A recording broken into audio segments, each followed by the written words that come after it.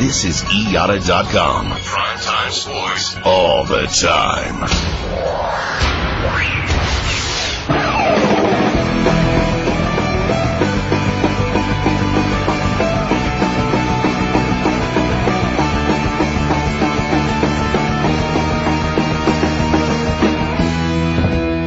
And now from Times Square, crossroads of the World Wide Web, and sponsored in part by the Office of National Drug Control Policy, it's the Wrestling Observer Live with Dave Meltzer. How's it going, everybody? This is Dave Meltzer. We're going to be here for the next two hours talking pro wrestling. We got Bryan Alvarez here. We also are going to have Rick Bassman, the uh, head train, um, the owner of Ultimate Pro Wrestling, which is of course a wrestling school and independent wrestling promotion in Southern California that runs uh, basically once a month at the um, Galaxy Theater. A lot of publicity for their shows because they put them up on the web live. They had Rob Van Dam against Christopher Daniels on the last show. This next show will be on the 21st, which is this coming Wednesday. So we'll be talking a little bit about that show in the Northern California versus Southern California feud. We've actually had a lot of those people that are uh, in that match. Uh, Mike Modest, Donovan Morgan, Tony Jones, the Northern California group. We've had on this show several times. Um, all three of them in, in recent weeks, and uh, Chris Daniels uh, from the other side, Chris Daniels, uh, Mikey Henderson, and Tom Howard representing Southern California. We'll talk a lot about that. If you are interested in wrestling schools, Rick Bassman's a good person to talk to, and we can just talk about the WWF. They've uh, see if there's anybody new that they've got into the WWF. They're kind of a feeder territory to the WWF. Talk about progress of different people and all that good stuff. Of course, Bryan's here for the next two hours as well. Bryan, how are you today? I'm doing good. I think uh, first thing we can talk about, I guess we should start with, with Thunder, which I um, I think I got through a, a little bit of the show. I was out all night last night, and I came home and um, fell asleep actually. But it was really late. It's not like the show was necessarily boring or anything. But I didn't get a chance. Just so much happened this morning. I didn't get a chance to watch most of it. Um, I got through. Um, I think I'm through Kiwi and Mike Sanders was the last match I saw. So what what were your thoughts before that and after that as well? Actually, right in the middle of the Mike Sanders Kiwi match, I was just thinking to myself, you know, AJ Styles is like the second best guy in the show so far. It's like it was a total indie showcase for about the first hour of the show. Uh, the first match I thought was pretty good. Uh, I thought AJ Styles looked good. Thought Air Paris looked pretty green, and his gear didn't help him out any. Sean O'Haire and Mark Jindrak was just. Uh, I got a lot to say about that match. I feel kind of like a fool because I remember saying at one point, you know, these power plant guys can have good matches each other. other because they work out in the power plant together. Well, I was wrong. That was not. And then they had then they had Sanders and Kiwi, and it was which was better at least. It was better, but it was still pretty bad. Yeah. And uh, Mike Awesome and Ernest Miller was absolutely hideous. Okay, well that that that I didn't get to yet. Chavo Jr. and the Wall versus Rey and Hugh Morris. This is like the first time in the show that the crowd cared about absolutely anything. They got behind Rey when he was doing his big comeback, but Rey's just such an awesome baby face. That, you know, they pop huge for that. It was actually an okay match, but they don't need Rey in there with Wall for sure. He just looked absolutely tinier than ever. Bagwell and Konnan was pretty bad. Jarrett and Rick Steiner versus Page and Dustin Rhodes was pretty bad in the main event. And overall, I thought uh, that was a real bad show. Okay. Um. So you have a lot to look forward to in that uh, second hour. Wow. And what else do I? Yeah, and I got, so we got SmackDown tonight. Uh, let me see. The first match, I see. I saw some potential in AJ Styles, but you know, it's such a big jump from working those indie shows to working national television, and and it was just so obvious watching from a, from a facial standpoint. You know, he didn't know how to play the camera at all. Yeah, he did look kind of like a robot. Um, you know, athletically, he did a cool some cool moves, but I mean, he really wasn't ready. And then there there you are on national television. Air Paris, um, physically, it's tough. That one's tough, boy, boy, because I'd never I'd never seen him before. Mm-hmm. Um, I- and I've heard about him for the last you know two years. And I mean, he did some nice moves and everything, but um, just very small and and yet very minor league looking look. Um, think Jamie Noble, wearing this outfit that's baggy on him, yeah, and it makes him look even smaller. It's like you know you're skinny when you're wearing spandex and it's loose. yeah. Um, Jamie Noble was so awesome in that match. Oh yeah, he's awesome. I mean, it, it, it was you know you know that he looks with his hair and everything. If you don't really look close, he looks like Kaz Hayashi, and like from from- like from far away, right? Uh-huh. And like like I was watching from far away for about a minute, and I'm going like, boy, that Kaz Hayashi's awesome. And then I kind of like walked up a little bit closer to the TV, and it was Jamie Noble, and you know he was awesome for the re- that guy is that guy is really good. Yeah, yeah. And that match, you know, and then um, um, O'Haire and Jindrak. I mean, my thought watching this was they need to, you know, those guys are good athletes. They're they're huge men that are very agile, and they couldn't work together at all. And they're like tag team partners. They've been together for a long time, and they need, I, I mean, desperately, especially because we all talk about Sean O'Haire and you know the potential that Sean O'Haire has, and and and Jindrak. I, I don't know. There's something about facially he doesn't do it for me, but I don't want to knock him because he's like probably six five, and good condition. Obviously, look, I mean, looks good physically. Uh, he can do some great athletic moves out there. So there's something there. I mean, the charisma's not quite there yet, but these guys, they they need to send these guys. I, I kind of mentioned something on their website about this. They need to send these guys to Japan and and get get them off TV for like a year, because at the way the w- at least as WCW is now structured, um, the nature of that company is, is you're going to be running one show a week, and these guys are only going to get, you know, how much better are they going to get with, um, let's say, 52 matches over the next year, most of which go, let's say, five minute average. I know, and think of Honky Tonk Man. He's talking about working 120 dates a year. I know, but I mean, I think that like these, you know, you know, people are going to get this impression of, of Sean O'Haire as this guy who's, you know, just not ready Yeah. because they're going to see him at this point. And I mean, you- granted, you can all say, well, we saw, you know, Rock, like literally Rock was in the major leagues from day one, but Rock doesn't count. He doesn't count, okay? and I don't even think Rock, Rock, looked like uh, this anyway. no, but then the other thing with Rock is also, Rock in his first year probably worked 200 matches. hmm So, I mean, it was like he, you know, he had his chance to develop. I think that if they sent those guys to Japan where they're working five nights a week, and like all those Japanese wrestlers are really good technical wrestlers. Um, I mean, I remember Robbie Rage and um, the other guy, Kenny Kaos, when they went to Japan for like three tours. They came back and they were they had improved so much, and of course then we never heard from them since. But that's another story. Um, one of them got hurt. I didn't even know what happened to Kenny, Kenny Kaos. Robbie tore his bicep. Then they got rid of him. Then they Became the rehired him. And mystery now he's- briefly. yeah. Um, but um, but I mean, they improved greatly, and I think that if those guys had a chance, you know, all of those guys, instead of putting them on TV before they're ready, you know, even better than working in independent, because the, the thing with the New Japan is, working independents, you know, there's not that many veterans they're going to work with. Yeah, they'll get the ring time, but I mean, like, oh, and I, I mean this more with O'Haire than anybody else, is that if he were to go say that you got Sean O'Haire's like a real project where you really think that this guy can do something, and, and everyone seems to think that, and I, I do too. Send him there, leave him there for a long time, and then when you bring him back, give him a huge push, give him a good look, and and maybe he's, he'll be at least a Mike Awesome when he comes back. Maybe, maybe if you're lucky, you know, uh, rather than, I mean, because those guys, man, I Not mean, Mike Awesome last night, but in general. well, I didn't see Mike Awesome. Well, Mike Awesome it can, is not good with a bad worker. I mean, Mike Awesome's Mike Awesome has great matches when he's in there with a great worker, and when he's in there with bad people, he he doesn't look good. I mean, that's always been his case. But um, you know, I watched O'Haire, and I'm I mean, when I was watching that match, I'm going like, this guy is doing himself no favors. This is not helping him, and and it's really sad because you know he's the prototype of of what they need in main events in like a year, and in not and in a year of working five minute TV matches once a week as opposed to going on the road every night, uh, he ain't going to get better. hmm Uh, or he's not going to get enough better. I mean, he'll get better, but he won't get better fast enough to where he's where he can be a main eventer in a year. Put it that way. Yeah. Anyway, um, so you made me really encouraged to watch the rest of that show. Uh, You gotta watch Ernest Miller, Mike Awesome.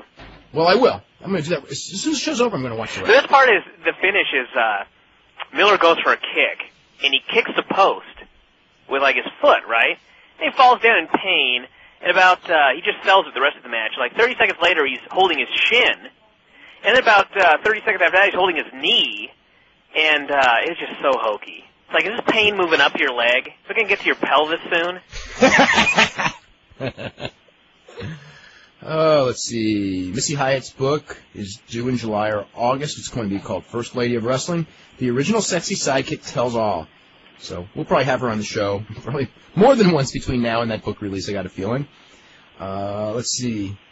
Uh, this is the weirdest story. This is like, you know, what, what when I grew up and what I the journalism I studied, it does not exist anymore. That's all I can say.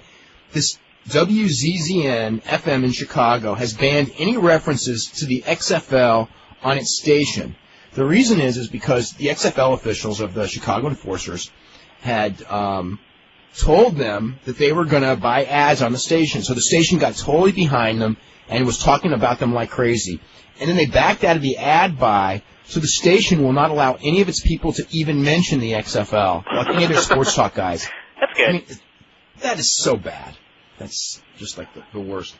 Um, we actually have well, the WWF came out with its quarterly report today, and they made 11.7 million dollars this last quarter, which is lower than usual, but you know a lot of that's due to the XFL. They spent 14 million dollars on startup costs for the XFL, um, which was a negative, but they also got a seven million dollar payment from NBC for the XFL. Well, that's half of it. Yeah, that's half of it anyway. That's half the losses. Okay, so that actually makes sense. I was thinking something different. Um, so anyway, they had 11 million. Um, so yeah, so their their share of XFL losses was like 7 million. So right now the XFL is uh, bu- bu- bu- bu- 22 million in the hole uh, before. But you know, I mean that was not that unexpected.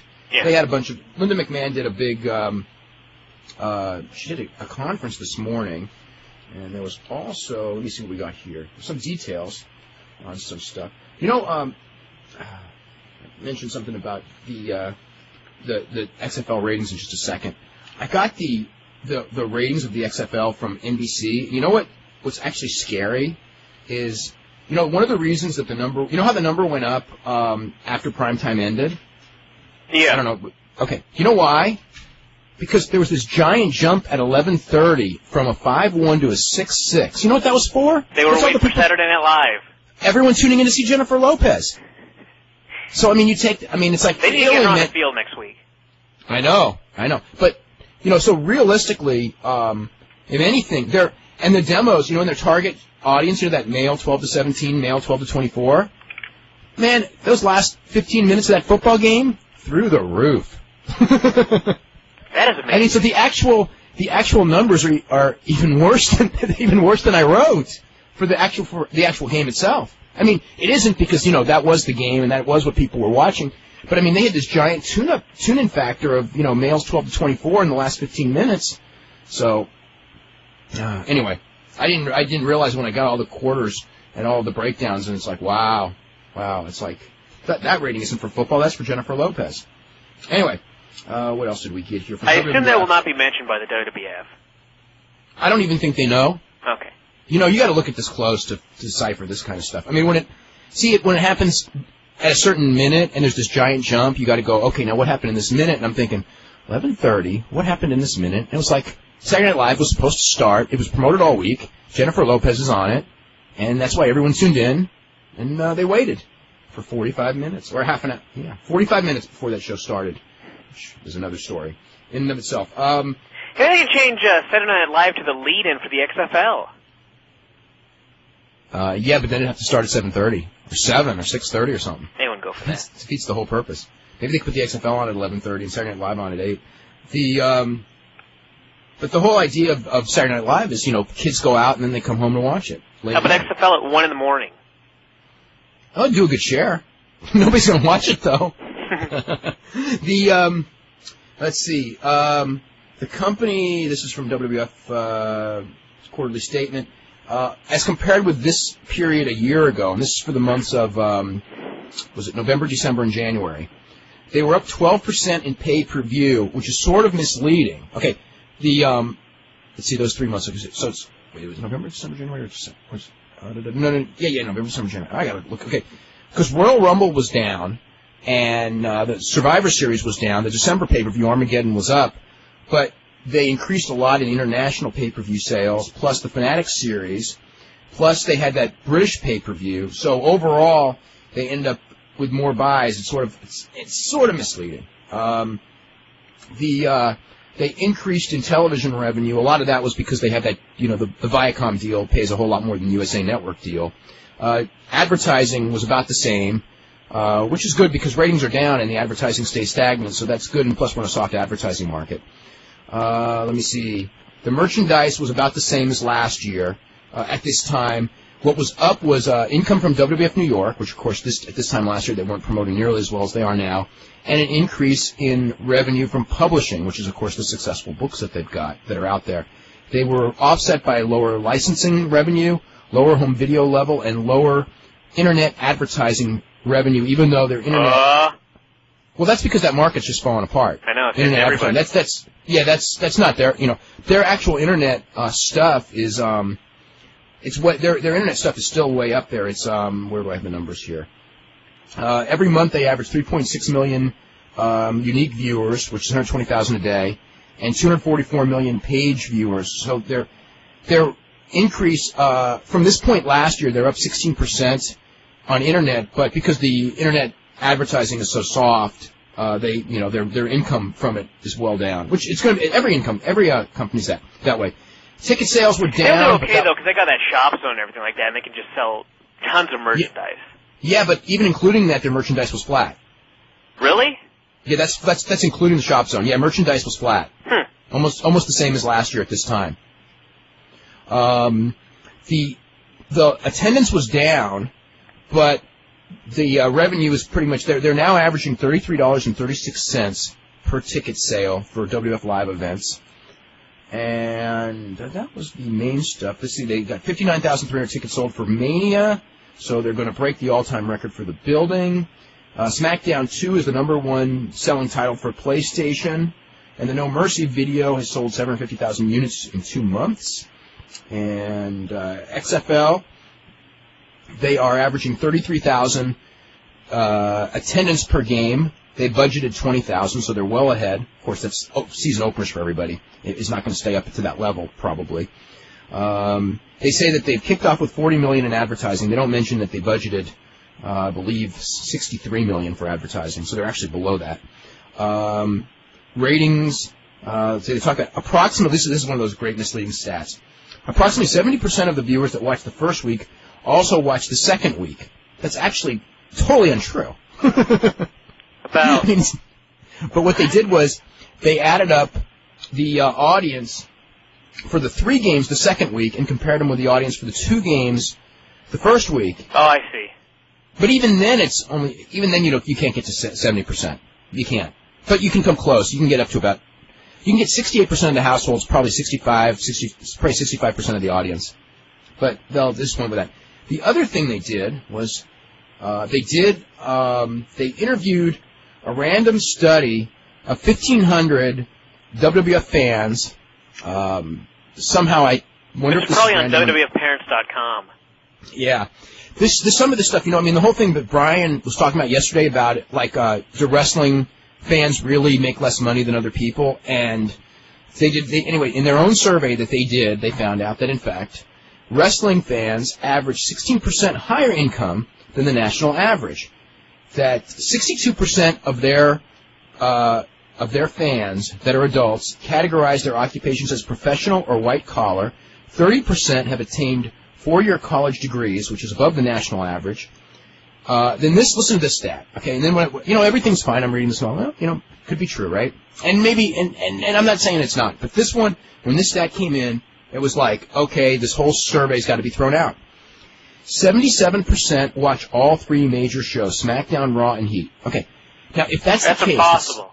it's absolutely that's right. It's absolutely impossible because Raw. I mean, Heat's averaging a two-one. Raw's averaging about a five. SmackDown's averaging about you know a four-six right now. So he would have to have gotten 77% of the of five the lower the lo- rating.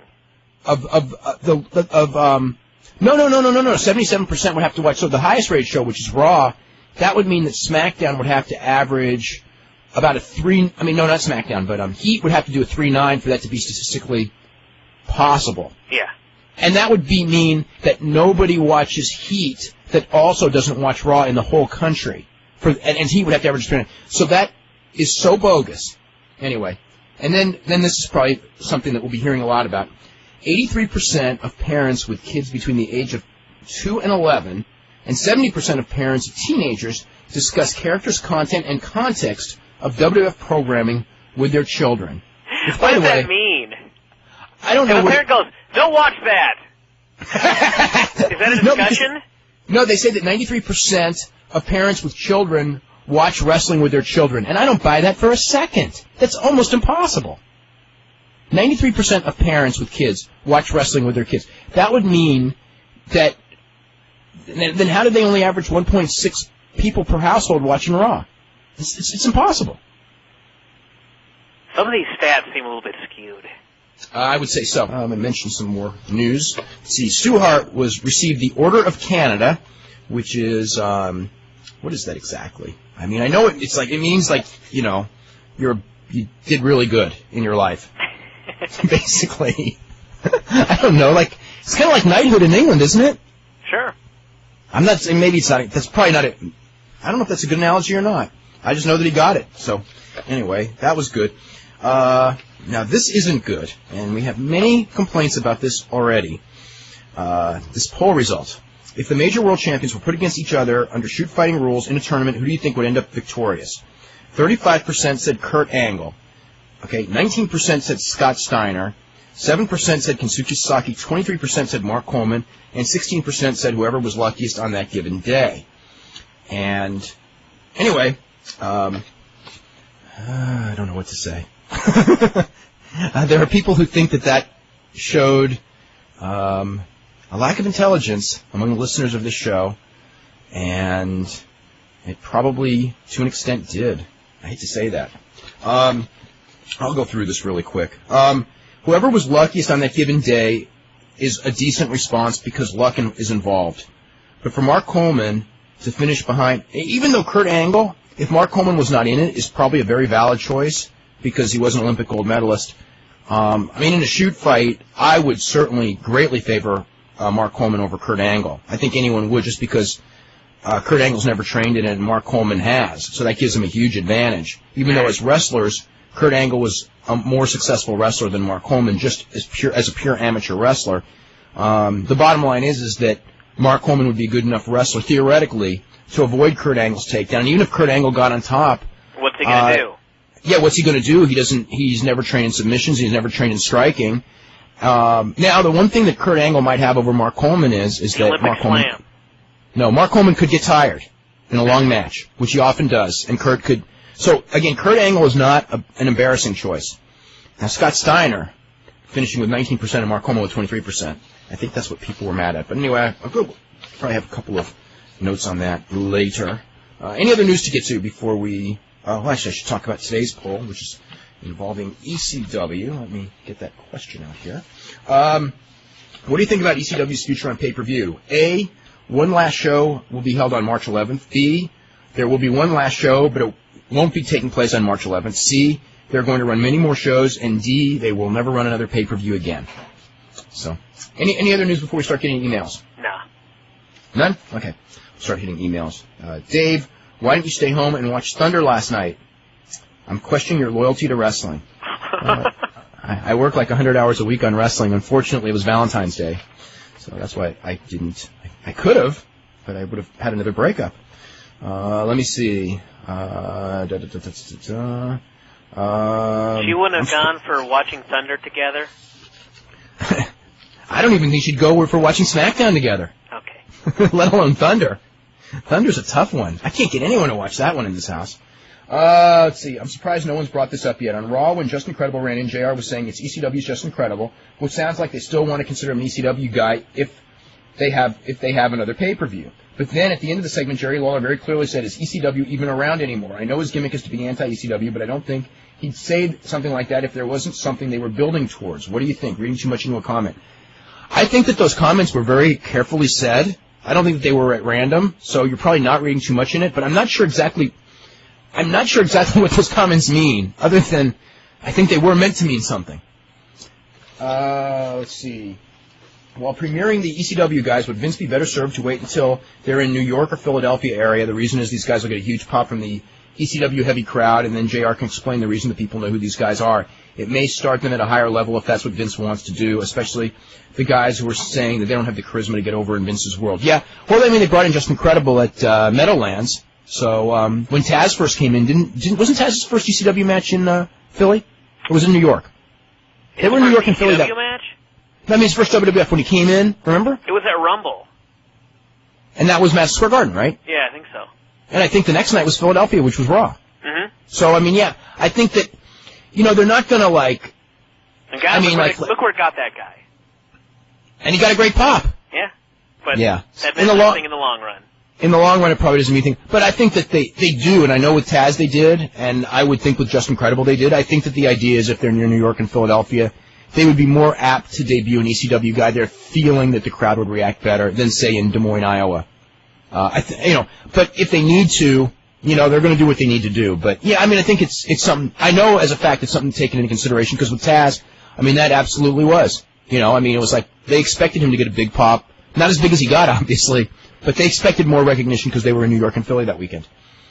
Uh, I was wondering if you could explain the logic in All Japan keeping the Triple Crown on Tenryu. Now that Sasaki and Kawada has occurred, Kawada should annihilate Tenryu and get the title. However, at the end of the next tour, Taiyo Kea gets a title shot. What are they thinking? Kawada's the only talent in the entire company. Um, as far as like, I think everyone knows um, why Tenryu got it instead of Kawada. You know, when you look into the future at what happened. Um, as, obviously, Kawada's going to end up with it. I think that the idea is, that Tenryu and Kawada is a big show, and they need to save it for Budokan Hall. Um, and this the next title match they're using at Yokohama Bunka Gym, which is a much smaller place.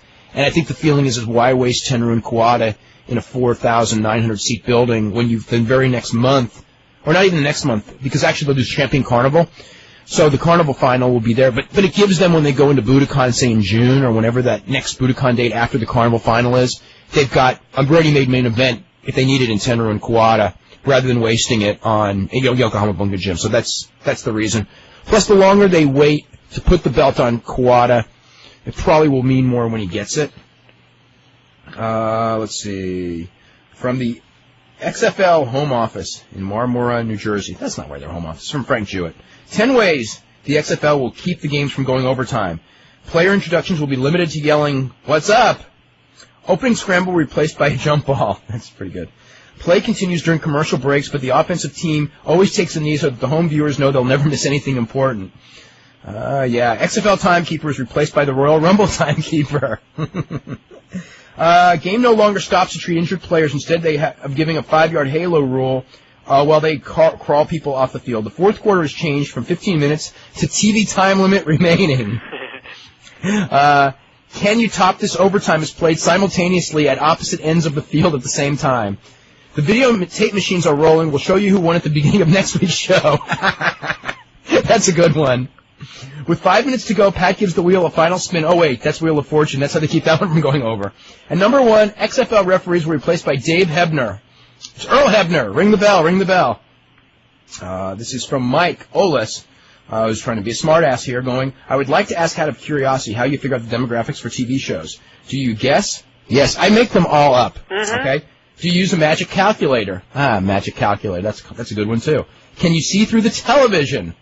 Uh, yes, I have X-ray vision. I see through the television, but actually, I get it from Nielsen, and all the companies get it, and all the companies get the same numbers, and uh, I just like look at them real close, probably closer than the companies. I hope that guy was being a smartass and that wasn't a real question. Yeah. Uh, Eddie looked horrible on Raw. He had little or no tan. He looked like he gained 20 pounds. Trying to He have a tough enough. What? By the way, you know that they're recruiting ringers for Tough Enough. Oh, we yeah. talked about that. Yeah. Uh, what's up with X Pac? Uh, why don't they give him new music and a new gimmick? That suck it thing is long gone. I thought he was going to come back with like a whole new makeover. I think with Justin, I don't know. I, I thought so too, actually. Uh, who is it that's getting a new makeover? Uh, Campiro, right? They won. Well, they Ain't want gonna- yeah, ain't gonna happen. Uh, at least he ain't gonna be back anytime soon anyway. This is from Mike. I noticed WF wrestlers have stopped using pile drivers. Undertaker and Kane both stopped doing the tombstone. Rikishi stopped doing the sit-down pile driver. Did WF institute a ban on pile drivers, or are they, were they just not getting over?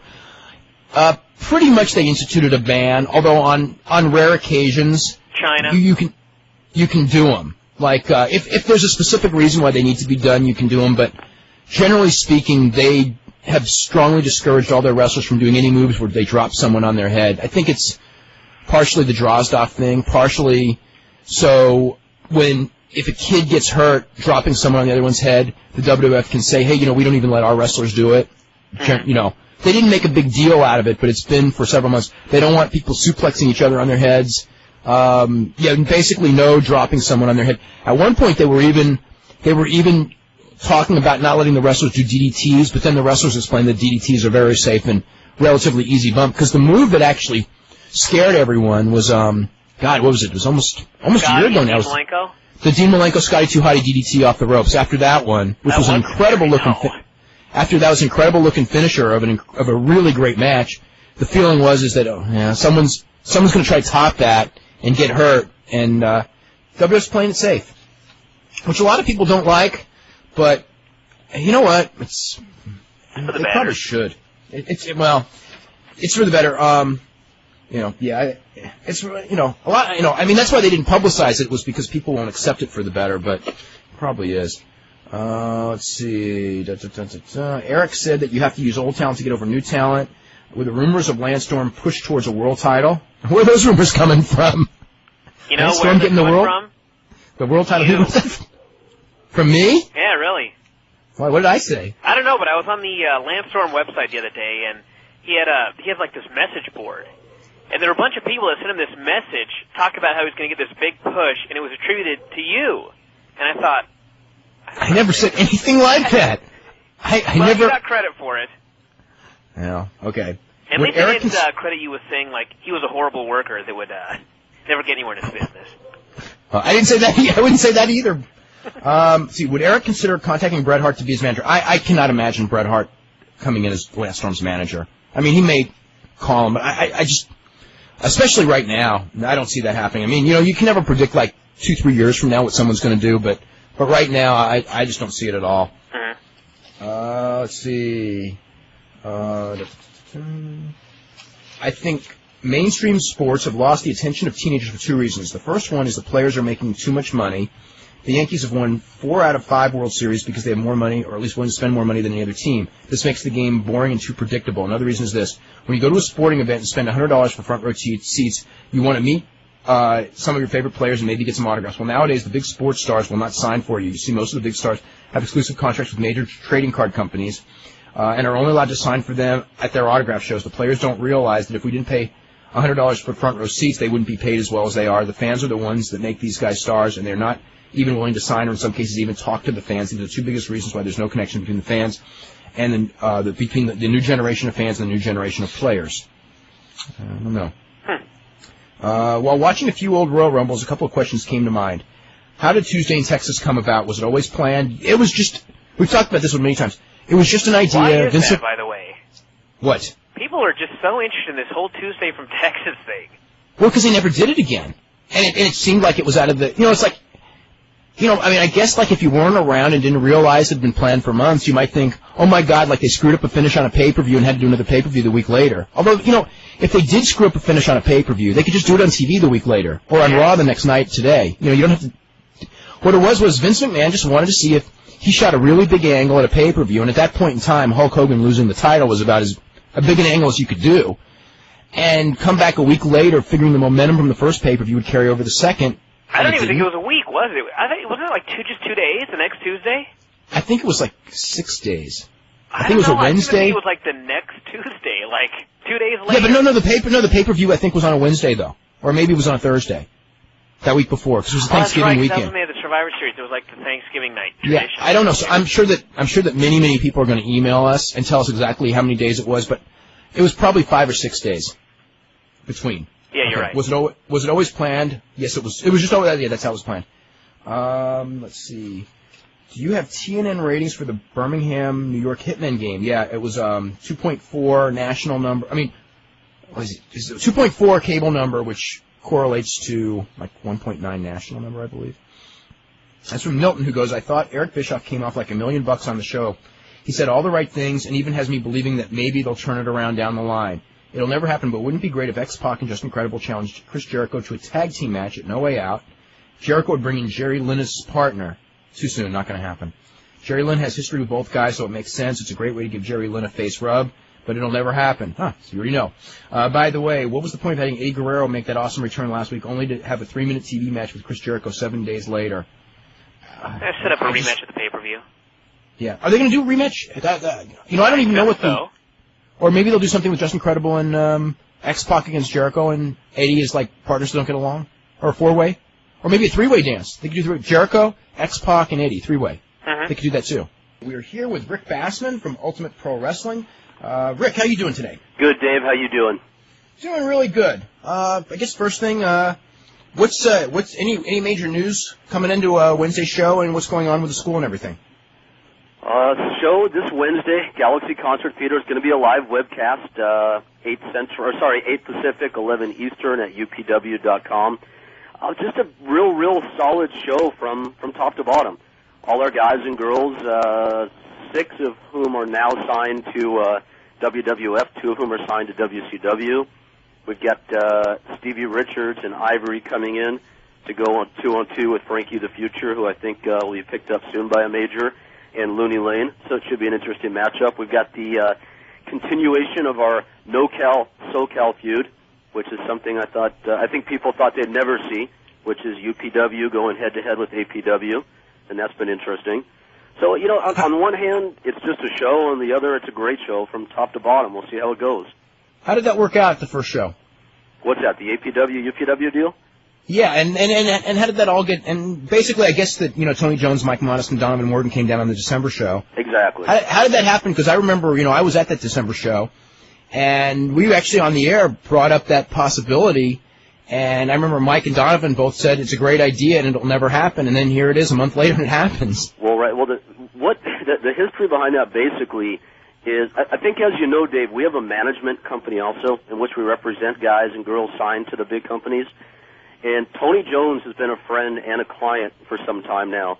Mike Modest is a friend, and uh, Donovan's become a friend over the past few months. So they've been actually working shows for us for probably going on half a year now. And we've done well drawing for our shows and, and selling them out, as you've seen, by bringing in, you know, name talent. And we thought it'd be cool to take a shot at really building programs from within our own organization to see if we could uh, sell on that basis. And my thoughts were that, um, you know, based on Roland and APW continually bashing us on the uh, on the web, and being that there are enough people out there that read that stuff that are interested in it, thought it might be cool to uh, to do a little inter promotional feud. So basically, I broached the idea to uh, to Mike and Donovan, who thought it was uh, a good one, and they put me in touch with Roland, and uh, we just took it from there. Do you think Roland got over partially because of Beyond the Mat? Because one thing is, is like all the hardcore fans have pretty much seen that, I think. Yeah, there there were two reasons I think he got over. One was because of that. The other is we really, I think, did a good job ourselves and uh, and the APW folks both on building the feud over the internet. And then lastly, for those who don't follow that sort of thing, we actually produce a program now for our shows. It's full color. It's real, real nice. And the big feature story in the program for people walking through the door was a build up on the feud. So basically, even if you hadn't even heard of it till showing up at the Galaxy a couple hours before showtime, you would have the whole backstory by the time the uh, the match started to appear. And uh, boy, it just it got tremendous heat. Really Mhm. got over good. You get fans coming down from Northern California to watch it? I honestly don't know. Good question. I don't know that though. But Haven't basically, heard from Pat, any uh, who who Is have. it- is it but, uh, wouldn't be is surprised. it is it pretty much um, now a constant that you always pack that place? Yes, yeah. Yeah. You know, but it's it's been a long, slow build, and I think thankfully the our shows have consistently been good, and for the things that haven't been good, our fans have been pretty forgiving. You know, and I think I think a big test for us was about four months ago when we had uh, Undertaker booked, and if you remember, he went into that uh, gallbladder surgery on a sort of emergency basis, and he couldn't make our show. Um, Mideon agreed to step in, which I thought was very cool. And as you all you know found out later, Triple H stepped in as well. Well, we put up signs all over the front of the building telling the fans that uh, Taker would not be there, but that we have a very special surprise. So if you want a refund, you can get it, but we advise sticking around. And Steve Regal's out doing his bit, and Steve was booked. And then uh, Mideon came out. And what I noticed, and was very interesting, is the fans were actually really cool with that. You know, they basically, I think, figured, well, that's a special surprise. You know, UPW has been cool. They've been up front with us, so we're going to be cool with them about Mideon. And to us, that was a big, a big test that I think we passed. That- and of that's course, a test. Triple H came out and blew everybody away. Yeah. Now, who are the, uh, real quick for people who do know and don't know, who are the guys that you have that are working your shows that are under contract to the two companies right now? Uh, WWF is uh, John Cena, also known as Prototype, who's been everywhere in wrestling media, and I think will be, if I dare say, I think we'll be one of the top five guys in the business within the next couple of years. Uh, all uh, Kurt Angle type, at least that's what we're hoping for. Uh, Nathan Jones and John Heidenreich are our two newest giants. Uh, Sean, Sean, I'm not familiar with Nathan. I, I I met at that show or saw at the show. Okay, so you were, or we're not familiar. Um, well, Nathan Jones, I know, I know from the World's Strongest Man, and I Yeah. saw him at the show, six foot ten. He's a large human being with giant feet. Yeah, Um, no, no, John, who's John? John Heidenreich is an ex uh, World Football League player who moved out here a few months back from New Orleans, who to me is really like our new prototype in a way, just by by the way he sets the standard for for dedication and and work ethic, and the fact that he's six seven, three twenty, and, and ripped and a hell of an athlete probably doesn't hurt either. But uh, amazing guy and a good guy. We've had John working a lot uh, theatrically and commercially out here as well. Um, hardcore kid Aaron Aguilera, Bad Boy Basil, uh, Basil Bozinis are also both signed to uh, WWF Developmental, and uh, the twins Diana and Elaine Klimaszewski, who are who are on uh, each show, are signed there. And then uh, as far as WCW signees, and then they're both new, as uh, you know, Chris Daniels, long last, and uh, and Mike Modest. So it's uh, it's it's pretty stacked from top to bottom. But um, I, I'd be willing to predict that there's eight to ten other people appearing on that show. The Samoa Joes, the Keiji Sakodas, Frankie the Futures, that will be a force in the business within the next few years. So it's, it's a pretty amazing, it's amazing backstage, that's for sure. Now, what's the status of television? I know when I was at the show, you you taped it as if it was a, a like a raw. I mean, that's the interesting thing about these shows is that it's like uh, you know you have the it's most independents that you go to. Um, you know, I mean, the matches are kind of you know laid out. You know, you go 15 minutes, but if they go 18 or 12, it's not really a big deal. I mean, with your show, basically the guys. I mean, they got the ref, they get the signal to go home. I mean, it's it's run like this is a live. It's run like it's a live television show, basically. And you, you were you were taping it. You know, I mean, it was a demo tape, the one that I went to. What's the status of television? Well, unfortunately, we had some we had some edit problems or, or personnel problems, which I think is pretty uh, pretty prevalent on this level. And we should have had the darn thing cut over a month ago because of those problems. We didn't. As I just was explaining to uh, to Al, your producer, on the break, I actually jumped out of edit today to uh, to get on your show. So we're finally finishing up the edit on the pilot. Uh, UPN here locally is waiting to see it, as is KCAL, which is uh, an ABC Disney-owned station. Um, we'll get on TV sometime in the next few weeks, and I know that's a, it's a big statement to make, but we will get on somewhere because the product does look that good. If if it ends up being cable, well, then it's cable. But we will be on soon, and then the uh, the goal is just to do some additional local shots behind that. A regular LA date, a regular uh, San Bernardino date, and, and the same for San Diego. So I will send What you about- a copy when it's done. We're almost there.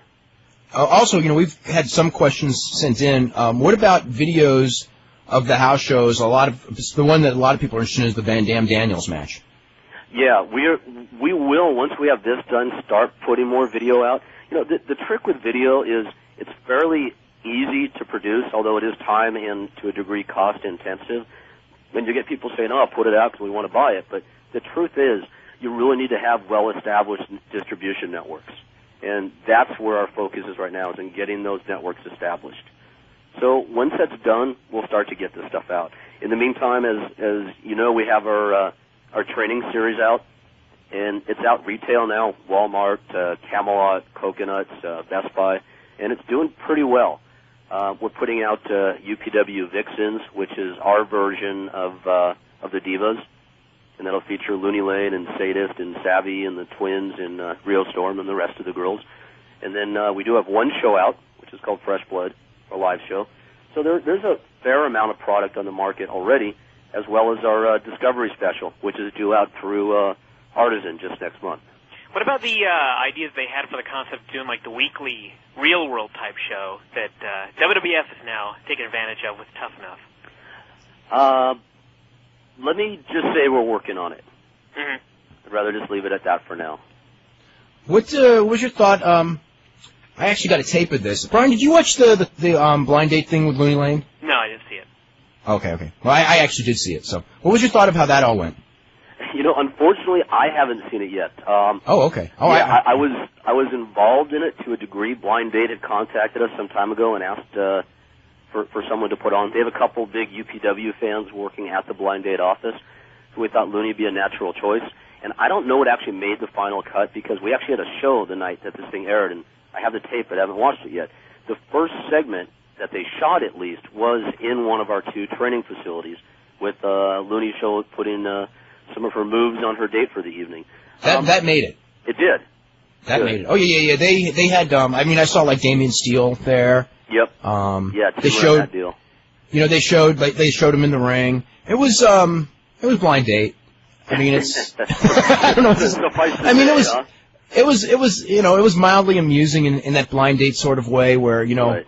You know they have this guy going like you know what you know what is this these you know you know what I mean That guy was, was- terrified. Jeez, he really was. I don't know if that played on television or not.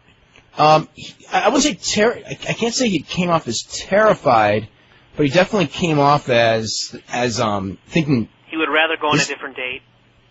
yeah I think when it was I think that was the end result was that um that he would rather have gone out on a different date that that that that, that wrestling thing was a little intimidating towards him Yeah, I, I think it was. You know, we, we we try to make the guy comfortable, but you know what will be will be. It's just it's something we were not expecting any uh, Emmy caliber television out of that. But we thought it'd be Well. fun, and Looney wanted to do it, so it just seemed like a cool thing to do, and certainly no regrets about it. Blind Date has called again, and uh, we've declined to put somebody else on because I don't really see the reason to do that again. Well, she's the best one to put on rather than some of those other women. I mean, because she's the other one. I, I don't know. Then again, it's blind date. I shouldn't have said that because, because I mean, the one thing that she has going for her is that she's kind of, um, uh, you know, normal pretty girl look. hmm You know, rather than that kind of, um, Real you know, there. overly, you know, like some of like like uh, what's the girl's name? Um, God, I forget her name. The one that was Mandy in the, in the Frosty. yeah, Frosty Moore. Yeah, yeah, where it's Frosty- like Frosty looks like a like a Playboy playmate, sure. yeah, But, exactly. um, I mean, we, we've got all kinds of different girls, as you know. I mean, there were three others I think that would have been equally as good. One is Savvy, who I think is very attractive and in a very you know everyday sort of way. Uh, Nurse Cassie, who's who's hysterical, and uh, and who am I missing here? I don't know. Nonetheless, I think we would have been in good shape with any of a number. But Jenny's a good personality for that kind of thing. Uh, this is someone who's asking this from John, who's asking um, about your background in UPW and wrestling before UPW, and also uh, what did you do with your life between uh, 1985 when you discovered Sting and Warrior, which actually a lot of people don't know about. We should probably talk about that real quick. We've talked about on the show before, and the formation of UPW. You, you were in a, you've been in a lot of different things. Yeah, a lot. You know, just basically the the entertainment slash sports business entrepreneur thing. Um, I was a uh, theatrical agent at a company called Triad, which later became William Morris, or I should say was bought by William Morris, and it took care of people there like uh, like Ed Harris and Alexander Godunov and, and Sherilyn Fenn.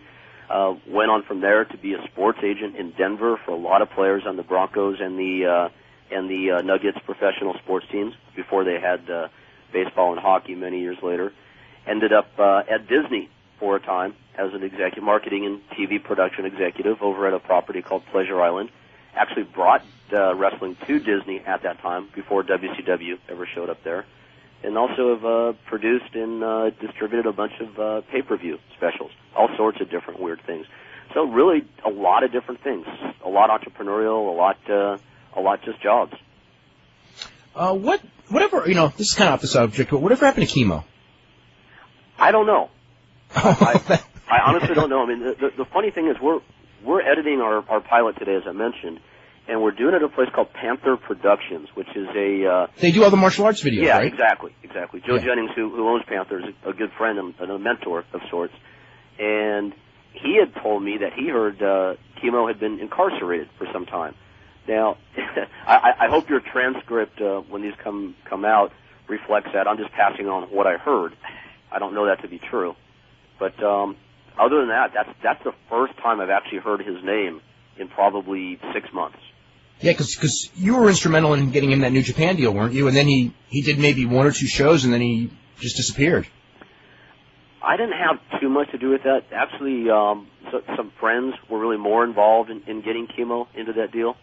And I'm not trying to divest myself of the responsibility.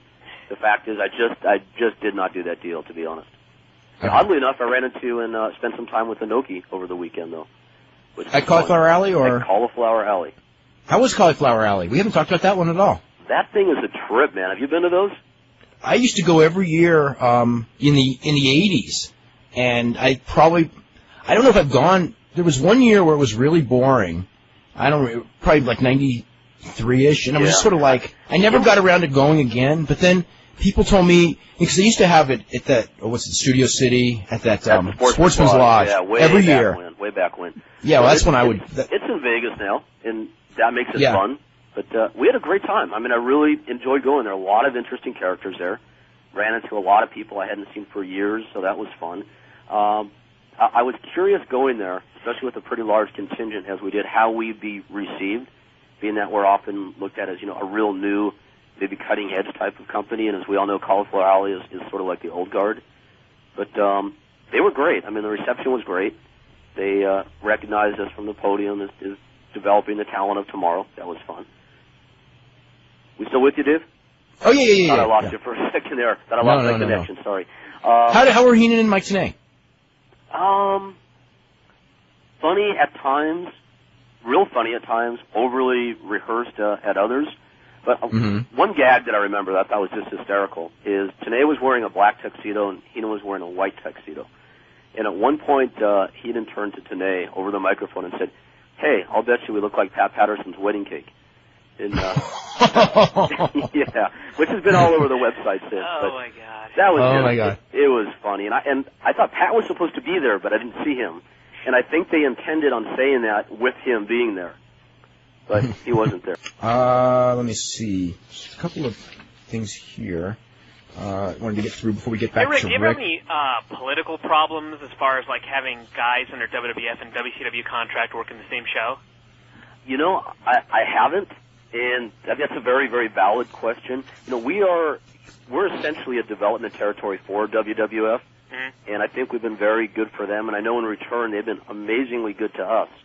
Um, but we've also been fortunate enough to uh, to get some guys hooked up uh, with Atlanta as well, without at least as far as I know, without any uh, feathers being ruffled. You know, our our thing is this: we're we're trying to do two things out here. We're trying one to turn UPW into a real entity that can actually, you know, be be in, quote unquote a real company that puts people on salary, you know, keeps them busy, myself included. Um, on the other side, we're looking at uh, developing talent and and working them in the business so they can make a living. And we get to know these people from day one. I mean, we start them, we train them. For the most part, there are exceptions, you know, the Chris Daniels and whatnot. But um, we'll train them from day one, and by the time they're ready to go somewhere, they're they're friends of ours. And if if WWF is not interested for whatever reason, I feel somewhat obligated to try to get behind them and help them move along. And uh, WWF has always been super super cool about that. Mm-hmm. So, um, you know, I mean, it it could happen, but it hasn't, at least as far as I know. There hasn't been any problems. I mean, WWF would have first option. Like, like you know, it's not like just as an example, like Daniels. It's not like WWF didn't have a chance to sign him. I mean, for years, literally. So you're you're, you're positively right. WWF definitely has first shot through us. Yeah. Absolutely. Um, but uh, in Chris's case, and, and I, I want to put a big congratulations out to Chris because, as you know, he was signed once before to WCW. He's signed again. I think the intent is to use him now, so I really think we're going to see him move up fast. But um, yeah, WWF had looked at Chris. They know him well. He has a lot of friends there. Um, they like him, but uh, the time just wasn't right for him to be there. So hopefully the time is uh, perfect for him at WCW. We'll see Any how it problems turns as far as like uh, you know WWF guys doing jobs for WCW guys? You mean on on our shows? Yeah. Oh, we've never done that. Okay. No, I don't. You know, let's let's see. Let's think about this. I can't think of a time we've ever had. I mean, you could theoretically put like Daniels against Cena. Theoretically, like like if you did it like on next month's show in a single, Right. I mean, it could theoretically. But you know what? I, where I think it wouldn't is that in the case of if, if it was like a guy who was on WWF, like like if WWF was sending you someone like say Regal, Right, we've got and you Stevie- put him against Daniels. Coming, right, right. Yeah, or, or or some or yeah, Stevie Richards, and then you ask Stevie Richards to do a job for Daniels, who's your champion, who's under contract with WCW. Probably that's where the politics would get involved, and maybe it wouldn't because they would. Maybe they would because realistically, it doesn't. That doesn't matter either. I, I have I have two But it answers might. to that. Here- here's how I would answer that. First of all, I don't know if there'd be a problem if it were a guy like Chris or Prototype since they came up through us, and at this point at least are probably still perceived mainly as UPW guys. But the second and uh, and final answer to that question is because we put so much thought and so much time into our booking in the first place, we just wouldn't book a match with one guy from one company and one guy from the other. Well, why So why, why ask for problems that you don't need or have? Yeah. Uh, this is from John Stevenson, which this has to do with what we were talking about with Stu Hart. The Order of Canada is our country's highest honor for lifetime achievement. It would be comparable to the U.S. Congress Medal of Honor. So that's what, that's technically what it, what it is. Uh, this is from Steve Queen, who says in last week's Observer, you mentioned that Kai En Tai was announced as having a combined weight of 270 pounds, and remarked that while they're small, they're not that small. But that is a legitimate number. They just weighed them on the same scale they used to weigh the Big Show. oh, let's see. Uh, do you think that WWF brought ECW talent in because they really want to use them, or to prevent WCW from getting them first, uh, which could be used to keep turning the company around? If so, uh, these guys will probably not be used effectively and will be out of the company shortly after WCW collapses. Um, I think there's a little bit of, I mean, there's no question that they they signed some of the guys. I mean, no question, like Justin Credible, Rhino. Those guys were signed when they were signed because they didn't want WCW to have a chance to sign them. Because the original plan was, you know, only a couple weeks ago, was that they were not going to take any of Paul's guys until Paul either sank or made a deal. And theoretically, Paul's still in the middle of that, and they're signing those guys. And the idea was that they figured those guys, they didn't want to give WCW a chance to get those guys. With um, to Jerry was another one, Jerry Lynn. Jerry Lynn had a chance to go to WCW. They were not that high on Jerry Lynn, but WCW didn't even make him as good an offer as, as WWF did, so that's why he went there.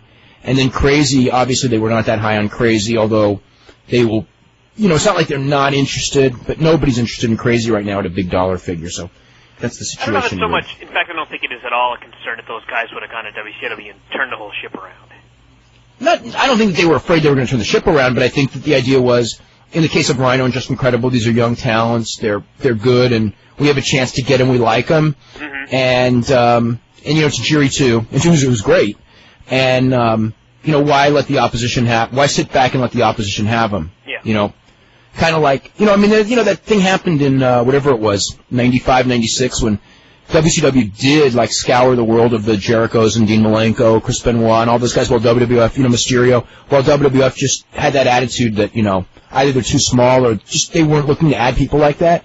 And WCW used them to really, you know, have a, a couple of years of great pay-per-views, great pay-per-view undercards especially. And I think that the idea was, hey, someone's that good, you know, you know, let's we'll go after him. Let's head to the calls. Let's start with Chris. Chris, what's going on? Uh, hi, how's it going? It's going good. Uh, I just had one quick question about uh, Karen Moore. Uh, that she was supposed to, was she supposed to be the fitness girl with uh, Stephanie McMahon Helmsley a while ago?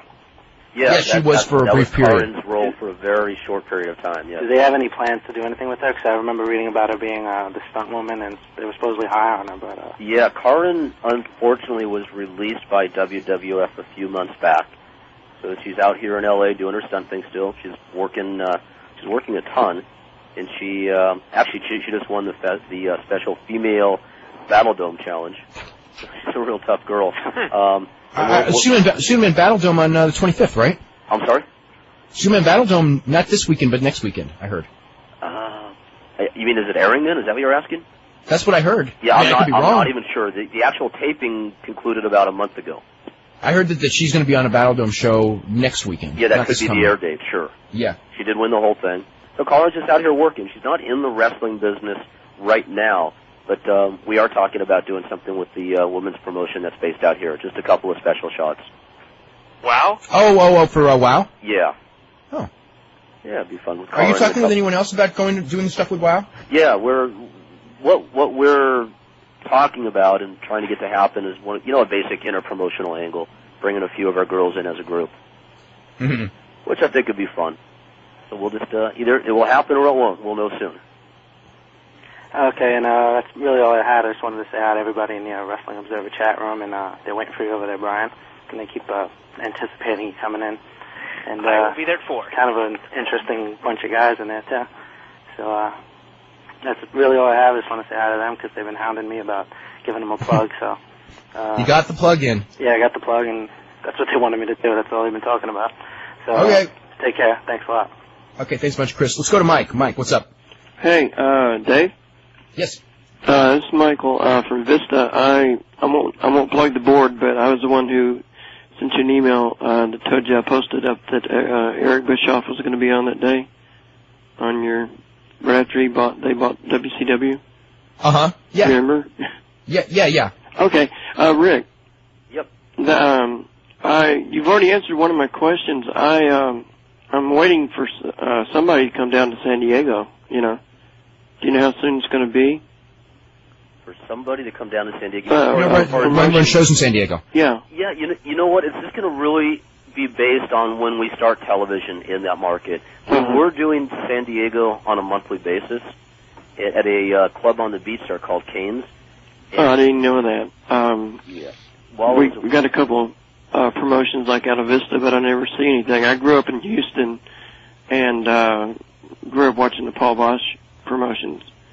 So we had wrestling every Friday night, and I kind of miss it. Sure. Well, we we'll be out there again once television starts. In the meantime, you've got a very very small promotion running out there. uh-huh. Uh, CCW is their uh, is their name. But not that's about it. That's there right now. We'll be back once TV starts, and we'll be looking for a uh, a nice venue out there like we have with the Galaxy. So hang Okay, in there. well, I've got I've got your website up right now. Um, so I'm gonna send Roger an email on that street team and all that. Yeah, please do. Yeah. By the way, anyone that's uh, listening out there, we're definitely looking for people to help us out in, in a number of uh, different categories. So definitely uh, send those emails along. Okay, Appreciate it, man. all right, thanks. Thank you. Um, I mean, has, has there been any thought given as far as sending some of your guys like John Cena or any or any guys, Frankie Kazarian or whatever, up to uh, work for Roland and kind of doing the reverse of that feud? Um, yeah, there's been a lot of thought given to that, and uh, you just might see it sooner than you think. Oh, so, there, so there's another cryptic answer for you. Second one of the Cryptic answer. They got a sh- they got a show on the 17th. I wonder what that means. They do of this month. Uh, I believe so. Yeah. In uh, b- b- b- Visalia maybe. That'd be Oh, not. Visalia. No, no, no. Vallejo, Vallejo. I don't want to make a mistake, but it's a big mistake. And that'd be this yeah, they're Saturday. they're they're in Vallejo on Saturday. Yeah, I think. Wow, cool. I think so. I think so. Yeah. We'll see. Um, All right. Um, Maybe we'll, real, have to, real, maybe we'll have to drive up there and just slap Roland around a little bit. We'll see. real quick before we head to a break, I mean, a lot of people don't know this, but you were very instrumental in Jim Hellwig and Steve Borden, Ultimate Warrior and Sting, getting started in wrestling in the early '80s. Uh, kind of looking for guys at the gym. Can you tell everyone a little bit about their background when you first met them and and and and why they made it? And there were probably four or five other guys that started with them that kind of didn't make it, really. Yeah, the quick upshot on that, there was a concept group I started back in 1985 called Power Team USA, and this is when I knew really very little about pro wrestling. The idea was to put like four all-American hero types together and try to introduce them into wrestling as a unit to combat the uh, the Sheiks and the Volkovs. Again, having no understanding how how guys came up through the ranks. Basically, went out and cast it with guys of different ethnic mixes who looked real good, you know, could talk, um, had some athletic ability, so on and so forth and Jim Hellwig and Steve Borden were the um, the replacements, respectively. Oh, really? Yeah, they were the replacements for the Indian and the blonde-haired, blue-eyed surfer guy in the group. Um, Hellwig replaced a guy named Ed Brock, who would have been amazing had he gone on. Ed, Ed Brock was a. Is that a name I know from bodybuilding? That name sounds familiar to me. Yeah, you probably do. Okay. Big, giant, amazing-looking guy who would have been great had he gone on. But Hellwig, uh, I brought out from Atlanta to join Power Team. That's before he ever stepped in a wrestling ring. Steve Borden was uh, right here locally in uh, San Fernando Valley. He was the uh, night manager at a Gold's Gym out there, and basically had to really talk him into wrestling. He didn't want to do it at the time, but uh, we all know what happened with him. And uh, if Steve ever listens to this show, I say hello. We've been in very, very active touch again over the past year, and we've become friends again. And uh, glad to say that. Hello, I haven't talked to you in years. Have no idea what he's up to. I don't know that he does. I don't think anybody does. Himself included, right? Yeah. But, uh, yeah. yeah, that goes back Uh, a ways. Yeah, so I did start both guys back in uh, 1985. Now, were you in, at all involved with Steve DiSalvo and Dave Sheldon, or were they just trained together with them? Yeah, I was involved strictly because they were the other two guys in our six-man training group out in uh, in Northridge with Red Bastien. And I saw Dave Sheldon, Cauliflower Alley. Took me a minute to recognize him, and, and vice versa. But uh, very cool running into him again. Yeah, I haven't heard his. I haven't seen him in, in a long, long time. I don't. I don't even know what happened to him. Or we we had a question about Steve DiSalvo not too long ago, and I don't know what happened to Steve Yes, DiSalvo. He also wrestled. DiSalvo, I've got no idea. Um, Dave Sheldon is out uh, in Los Angeles doing the Hollywood thing, you know, movie, TV, commercial sort of thing. Uh, he looked real good. It was nice to see him. And uh, you know, it's funny. Last time I saw Dave in '85, I actually shot on him and airplane spinned him, which is still today my my uh, body weight airplane spin record. But he looked so damn big, I didn't want to try to call. Whale it. Roland. Roll, Roland on the 21st. Hey, there you go. Kaboom. You'll break the record. right on, man. That's a good idea. Thank you. Uh, got a couple of email questions, and uh, we can get two. Uh, one, this one's for Rick. Uh, Rick, who is the best? Who would you say is the best unsigned talent in your company, and who would you say is the most improved wrestler over the last three to six months in your company? Uh, we have so many. Here's a political answer. We have so many great guys. The best one, though, bar none, is Mikey Henderson. And Mikey, yeah, I would have to say that too, for sure. Now that I think about it, yeah. Yeah, and and and with all due respect to anybody else out there, I think Mikey is. I really believe he's the single best unsigned prospect in the country as far as being the total package. If uh, no no references to Lex Luger intended. Um, they're asked about the best wrestler. I mean, his wrestling ability is awesome. It's it's not necessarily at the level of Chris Daniels, but it, it's pretty close. But when you add in things like Mikey's presence, his look, um, the way he carries himself, in my opinion, both companies are missing the boat in a major way and not having Mikey on television right now.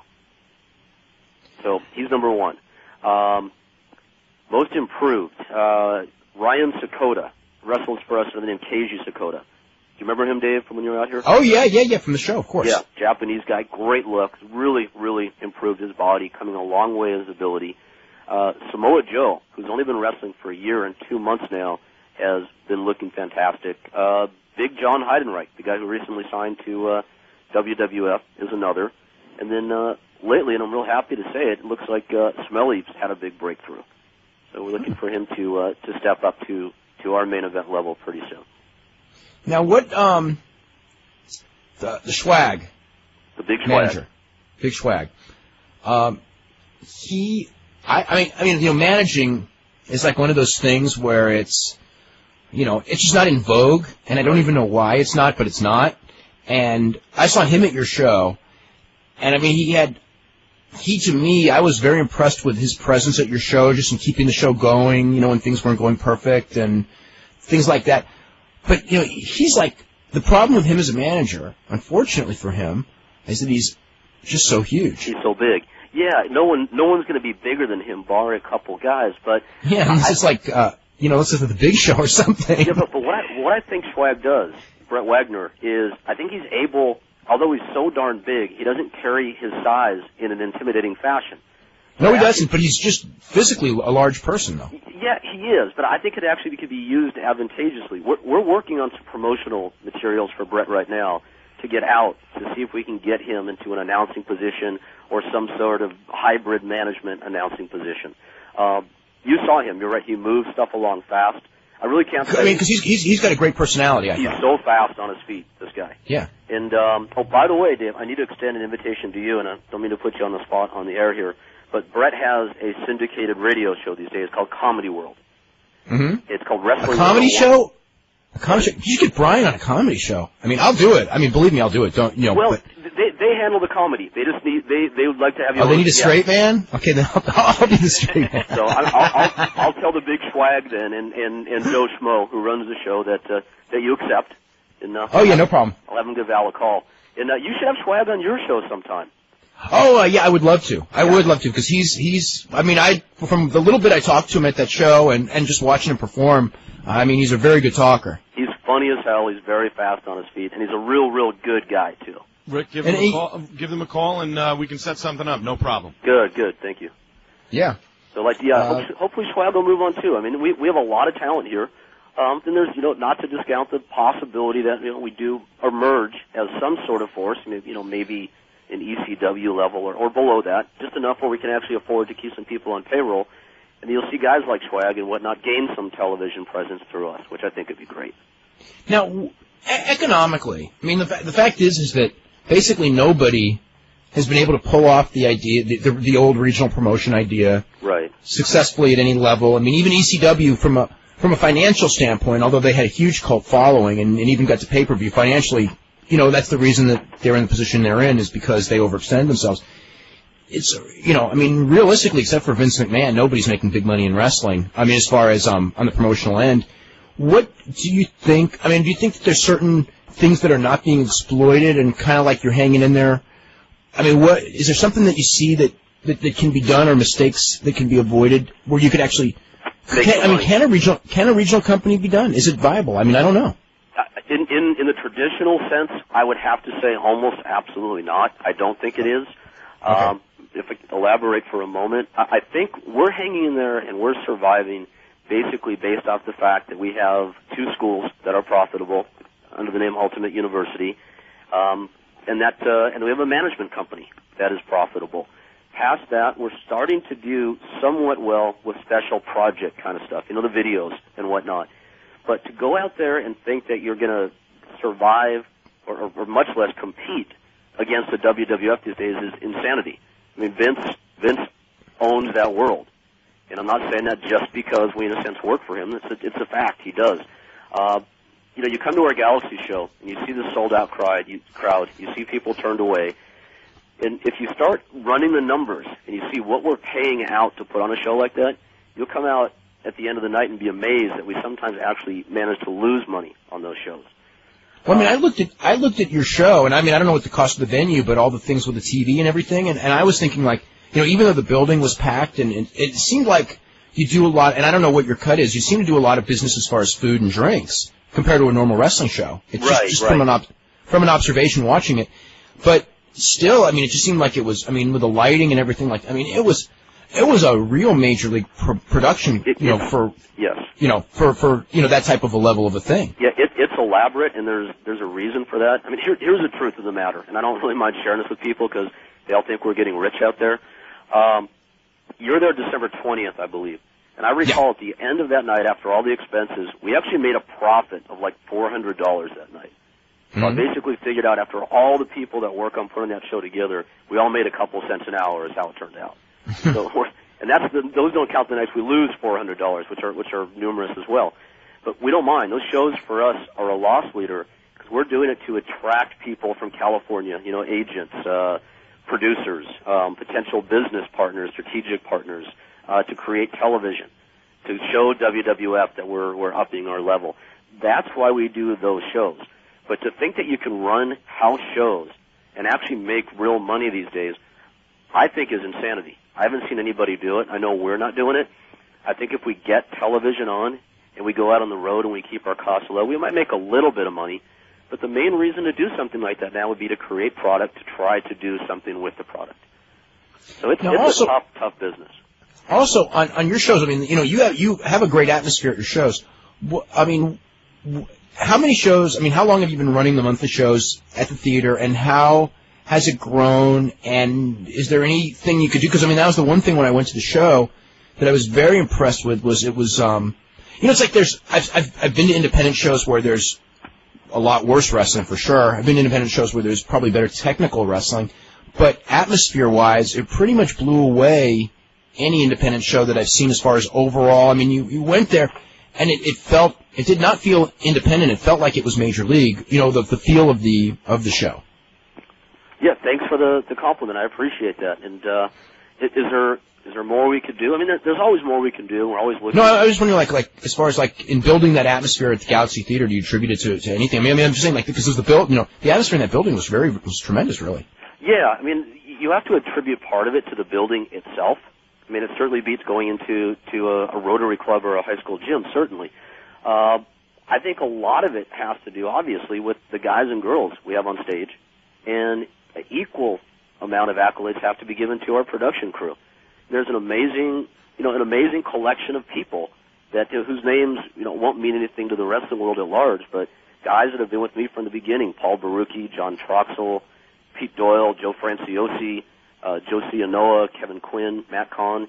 And these guys are all helping us out because they love the business. You know, they're trying to make things happen, and they've become a crap, crap production squad, and it's amazing. So when you put the our workers together with the production and the building, and the fact that I think we've built a very loyal fan base, it just uh, you know all adds up to a uh, to a good sum. Let's go to Lars in San Francisco. Lars, what's going on? How you doing today, Dave? Bryan? Very good. Rick? Hey, Lars. Um, actually, Rick, uh, I've actually seen a lot of UPW shows courtesy of the Big Swag. I just want to say it's some of the best wrestling I've ever seen. Thank you and very uh, much. I think you put out a great product. I just want to know, like one of my favorite tag teams, people on the the Ballard guest Brothers. I'm sorry. Go ahead. Uh, one of my Go- favorite go ahead- tag go ahead, teams Lars. the, Ba- the Ballard Brothers. hmm Uh, what do you think their chances are to make it? The Ballards have to do one thing before they have a chance to make it, and that is they have to, because they're twins, and that inherently is the one of the best parts of their gimmick, is they have to get their bodies up to par to make them look like twins. You've got Shannon who is real big and Shane who is real small, but they're finally starting to do it. You I've been on their butts for over a year. Um, they're very, very good in the ring. They understand the tag team game, I think, about as well as anybody working the amount of time they've been working. And they actually have a pretty cool gimmick. It's simply a matter of getting their bodies together. Period. If they choose to do that, then I think they've got some pretty good chances. But that that part is up to them. You know, the fact is in the business today, because it's so competitive, you have to have several different assets. You have to know the ring stuff, you have to know the psychology, you have to know your way around the stick. But if you if you put all the time into that stuff and then don't put it into your body, it ain't going to happen for you. Yeah, we talk about that all the time here. hmm That, that I mean, I'll, you know, we'll see guys, um, you know, that work, you know, that work really, really hard. I mean, to be really good workers in the ring, but they don't have uh, presentable bodies, and, they, they, some some guys some guys have unpresentable bodies even. And I think it's like, you know, like let's, you know, and again, you know, and that's always leads to the steroid thing, and it's like, you know, like granted, oh, you know, a lot of, you know, that, that, that that's an issue and everything, but you can get a very presentable body and, and a good body without steroids, and and, and it, it doesn't even take Particularly an indie guy who isn't on the road all the time.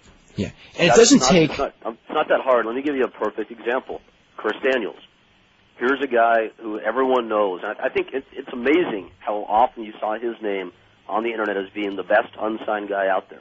I think everyone believed that. Up until a year ago, though, Chris didn't really have the body. Now, you saw Chris recently.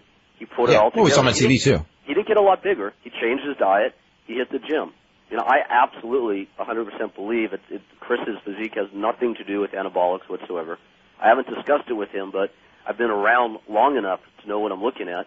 And to me, it's just a Chris is a smart guy. It's a result of knowing he had to make some changes, and, and he made it.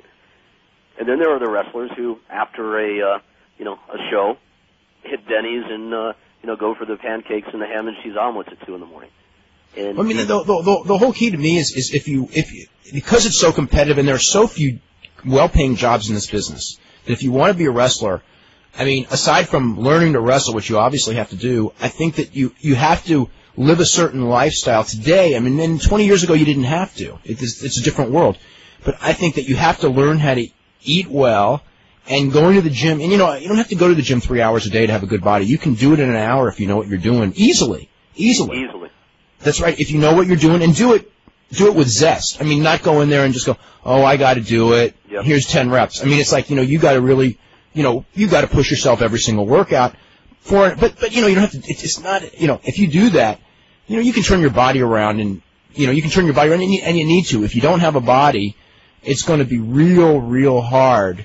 I mean, even if you know, you know, acrobatic moves and even like, you know, like you've got, um, what's the guy's name? Prodigy? Prodigy. Prodigy did a, was a shooting star off the top of a ladder. Right. Okay, and he's like 16, 17 years old. Like a guy like that who will take risks like that, still, I mean, like, he's not also most likely going to be signed. And, and I'm not saying he has to be huge, but even like uh, Rey Mysterio, Juventud Guerrero, who are not huge men, if you really look at them, they have very good bodies for their size, and that is what the companies are looking for. They're not looking for you know a lot of flab around the middle or small arms or something. You've got to, you you know, if you want to be a wrestler, it's just part of the game. You have to look a certain way. Yeah. and that and that's the truth. And and Dave, you sum, you summarized it well. It's very competitive, and if you if you want to make it, then you do the work to make it. It's that Yeah, easy. but I mean, to me, it's like you know the physical work in the ring of taking all the bumps and learning all the moves, which is which is harder, I think. And Bryan, you would have a better idea of it than me, because I mean, I've I can do the one, and I certainly can't do the other. Um, as far as um, I mean, to me, I think that the the training is just a matter of dedication. I mean, learning to be a good wrestler, I think, is much harder. I think it's it's much harder work than uh, being a good worker. I think is much harder than developing a good body. I mean, I mean, I don't know, Bryan. What, what's your thoughts? I would pretty much agree with that because I think it's just more you see a lot of indie guys who just have more of the desire to actually get in the ring and do that than they do to get in the gym. But if you want to go anywhere, you, you have to do both. Yeah, Dave, Dave, let, let me agree with what you said a 100% plus. I think doing the stuff in the ring is way, way harder than putting a body together in the gym.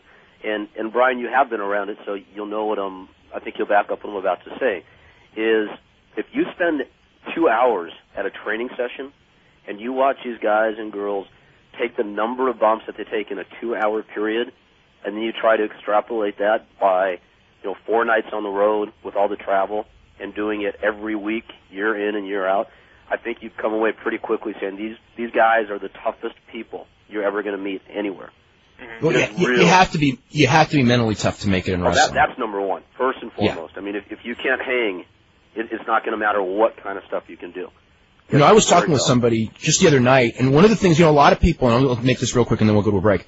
The, um, you know, one of the thing, you know, a lot of people go like, you know, the sports background, like football players and wrestlers and all that, that it isn't good because, you know, you get that mentality where you want to win and you don't lose well and things like that, and also, you know, there's there's certain things about projection and charisma that are not involved in in being an amateur wrestler or a football player that you need in pro wrestling.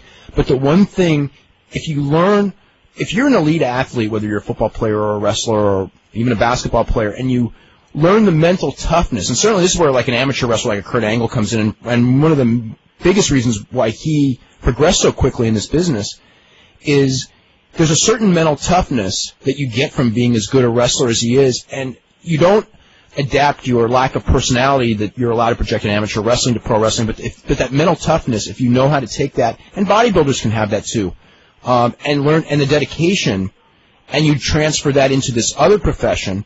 Uh, that's why I think that he was able to, uh, you know, progress like so unbelievably fast. Yeah, I, I would agree with that. They they understand what it is to work and to work on a consistent basis. And and, and, and and like when you don't feel like working, that you just do it. You have to do it. You have to get Yeah, it. like there's day, like you know, like you know, like Tony Jones when he was on the show was going like, you know, like when he was an amateur and it's like he got sick and he sick enough that he couldn't go to school. He still went to practice because he knew it would fall behind, and that's the type of mentality you need because there's always things that go on in life that will you know keep you from going to the gym and keep you from practicing. But it's the guys who have those same things going on in life and just say, but I got to go, and they go and they don't complain and they don't fret about it and just do it. Those are the guys who are going to succeed more often than not.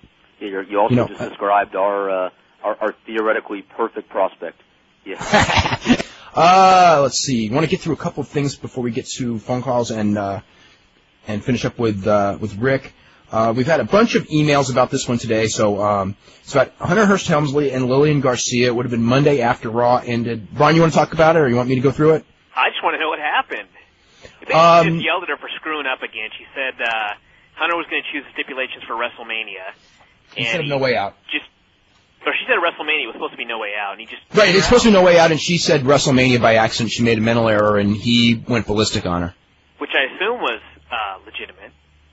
I believe it was legitimate. Yeah. And I guess the mic kept cutting out, but if you remember earlier on the show, Al Snow was trying to cut a promo, and he was using a mic that kept cutting out. So I don't know if somebody was doing this to Hunter or not, but, uh, But, but he he thought Kevin Dunn was was cutting him out, yeah. so he was mad at Kevin Dunn too. I mean, the only thing that I that I think of is if he was really chewing her out, why would he do it over the house mic, and why would they not cut his mic? Well, maybe they did. And why? And and, and if it was, um, I don't know, if it was an angle, why do it after TV was over? I just don't get it. Yeah. Uh, this is from Richard who says, uh, you mentioned the DDT is an easy move to take, maybe to the guy who receives it, for the guy who performs it in the long run takes a beating. Arn Anderson, Michael Hayes, and Jake Roberts were top, probably the top three guys who used the DDT over the past 20 years, and all three wound up with bad necks and bad backs. It's very Uh, interesting. I don't think it's from delivering DDTs. That would just be my opinion. Okay. Just a back bump.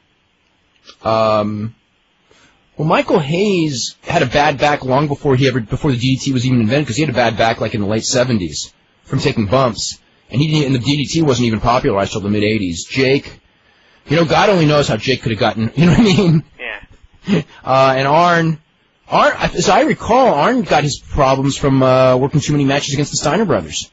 Yeah. I mean, when the, when they were breaking in and they were like literally killers, and you know they used to always they used to always work with him with uh, various partners with uh, Zbyszko and Bobby Eaton and, and Ole. This is for uh, Rick. Uh, what's the latest on Tom Howard? Uh, okay. Tom is Tom, essentially is my partner these days. He's in the office full time. He's up the street editing our pilot right now. Um, he is uh, officially or unofficially retired from the ring, aside from uh, doing he- is- shows. Isn't he? Re- you know, he's re- okay because he's wrestling Wednesday night.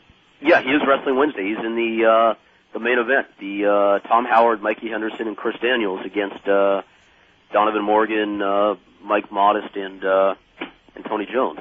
Yeah, but Tom's doing his shots just with us. Otherwise, he's uh, in the office full time, doing an amazing job, running our commercial and theatrical division, running the video division, and uh, just uh, basically we're hanging out, taking care of business.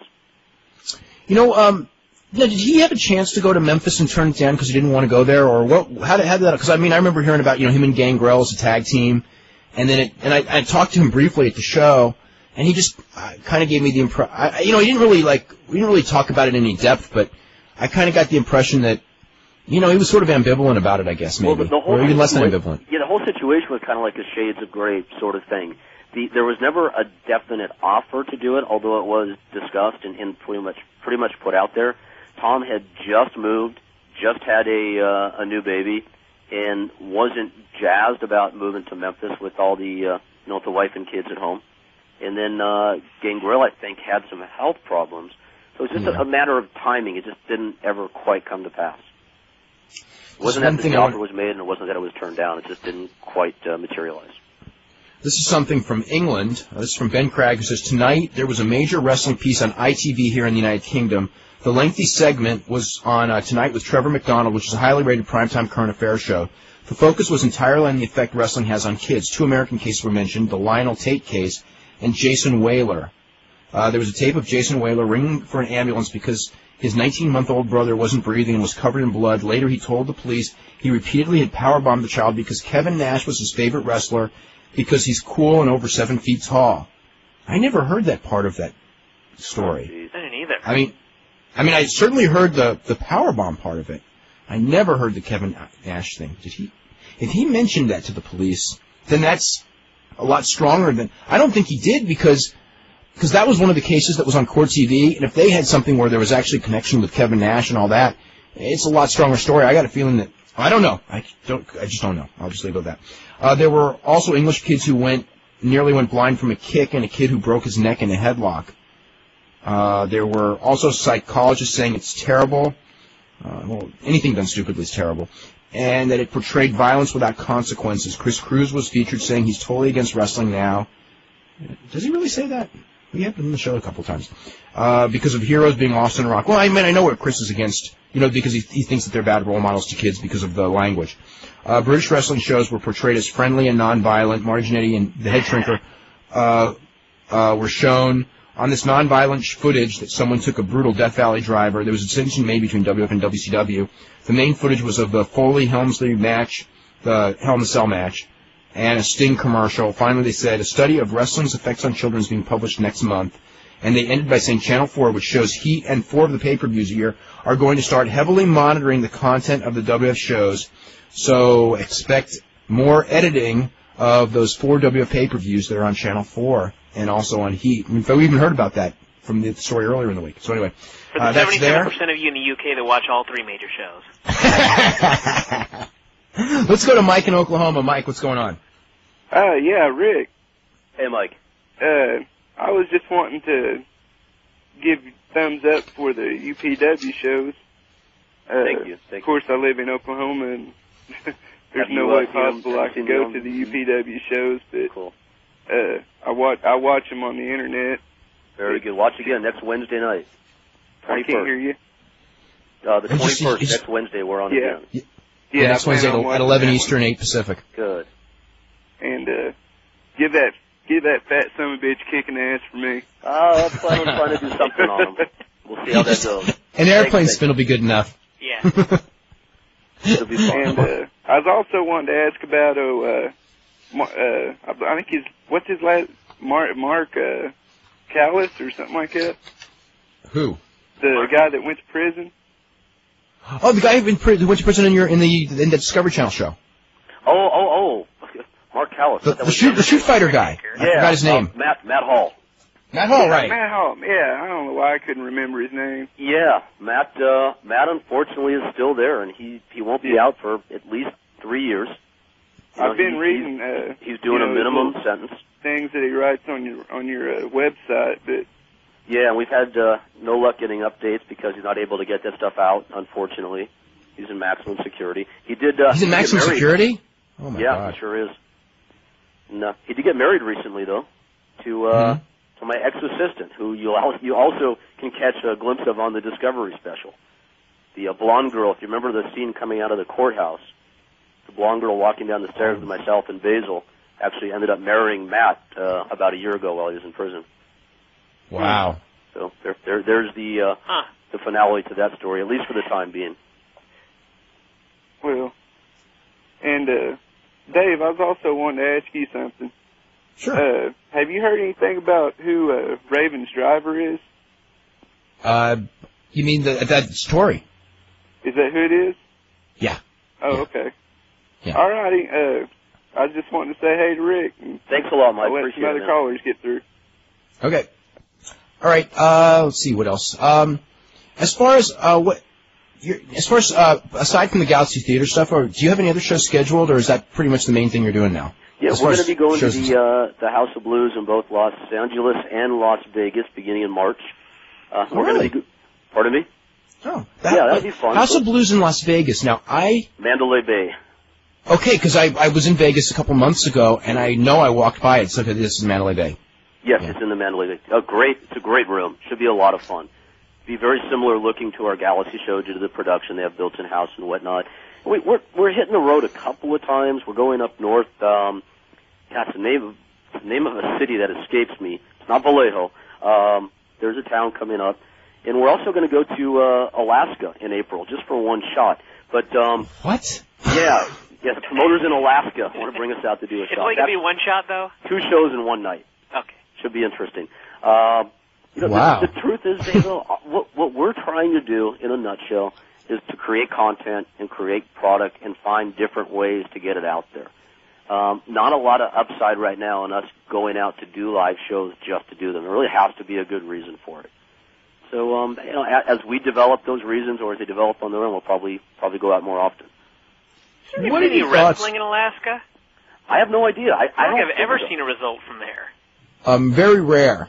Because I, I remember when there was a show, somebody said it was like the first show in many years there. There was a show a couple years back. I think WWF went there like in the 80s. And WCW I know has never been there. Yeah, we're we're going out short crew, just 14 of us, and that's in April. But uh, you know, taking taking most of our top guys and a couple of the girls, so that should be fun. Do you we do a live remote from Alaska. Who knows? Um, yeah, I wanted to, uh, Dave, if I if I had a quick second here, Sure, go ahead. let people know again on our website upw.com. We're starting new classes at the school all the time. We've now signed uh, 15 people, uh, 10 guys and five girls out of our school have gone on to get contracts. In uh, a lot of them are developing. Lisa Marie Varon, who's out in Tennessee, is doing amazingly well. In uh, She's going to be re- wrestling Sunday on one of the WF house shows. yeah, she's right. She's got a, uh, a house show match with uh, Kat on Sunday. Exactly. And uh, Lisa Marie's doing great. I think you'll see her on TV a lot sooner rather than later. Um, wanted to thank RVD and Nova both for being out recently at our shows. Awesome guys. Nova is an amazing talent, and um, at least in my opinion, and uh, definitely see him going places. And wanted to thank those guys for the nice words on uh, on their website about us. Kind of like the same stuff you said, Dave, about our show and with the feeling is backstage and so on and so forth, and especially to Jr. who had some real real nice words on uh, the Ross report for us Oh, yeah. this past week. What's uh, as far as far as Van Dam? What's I mean, what, what's your thoughts as far as it was pretty much a one-time thing? I mean, do you want him again, or is the price too high, or is, is it one of those things where you're still talking about bringing him back for other shows? Uh, all of the above. yeah, all of the above. It it ha- it would have to make sense for us. I like Rob. He lives locally, which is great. He uh, he comes to a lot of our shows. He drops by the school um, on occasion, and I'd love to have him on the show again. But it really should be saved for um, you know more of a special type of occasion. We do have uh, we do have Nova coming back the next three shows though, which I'm real excited about. Really? Yeah, next three shows. Um, so so you got uh, Richards, Ivory, and Nova as the big as the big stars on the 21st. Yep, along with uh, with our own homegrown stars, of course. Uh, I think what's really shaping up though to be the main event, oddly enough, is uh, is the uh, the SoCal NoCal six man. Seems to be a Mhm. lot lot of good heat for it.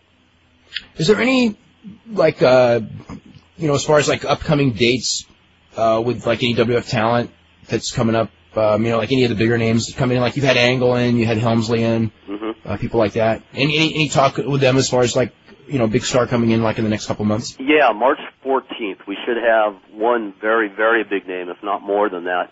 And uh, I do believe on that date that um, that uh, Jr. and uh, Paul Bearer and some other guys should be in attendance as well. So we'll be pulling out all the stops on that show, and uh, probably be headlining with um, with one of their very big names and maybe two. Oh, that's really cool. Yeah, yeah, and I, we're we're talking about specific people. We'll see how that turns out. Um, you know, WWF has always been real, real helpful with us when we uh, when we need to bring somebody in. So uh, it should be some good stuff. Okay, we are totally out of time, Rick. I want to thank you very much, and you can get back to that production. And I, I really, I really want to see a tape, and uh, I'm sure a lot of people in Southern California want to see a television show. Yeah, as soon as it's Uh, done, so- we'll send it out to you.